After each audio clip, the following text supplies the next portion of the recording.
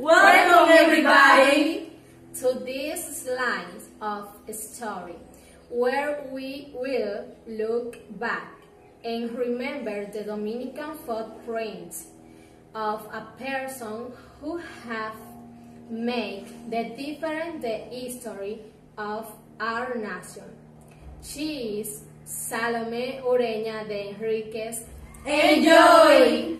The objective of this video is to enhance the dedication, passion, and talent of the past characters of our nation that lift up the face of our country. Mm. Let's, Let's go. go. Salomé Ureña de Henríquez was born on October 21, 1850 in Santo Domingo. Moby or the way sailor Ismael. You are such a smart kid for being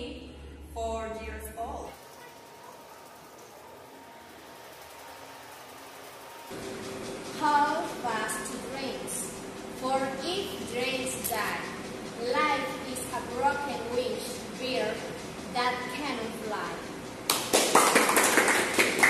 From an early age, she began to cultivate her poetic talent. At the age of 15, she wrote her first verses. Mom, why are they cutting the trees down?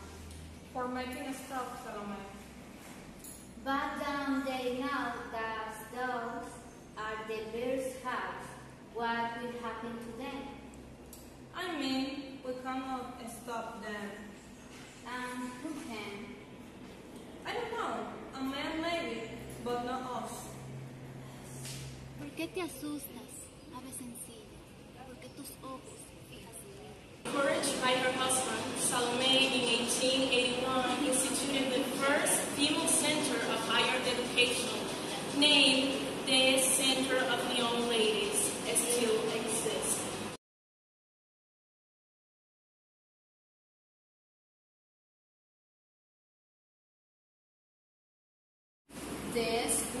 me after a political disappointment that was nothing but a symbol of for the of an educational establishment that contributed to changing the gloomy face of the country.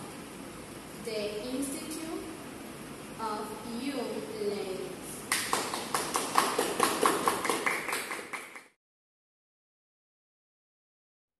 Thank you for your attention.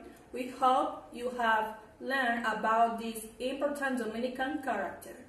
Goodbye.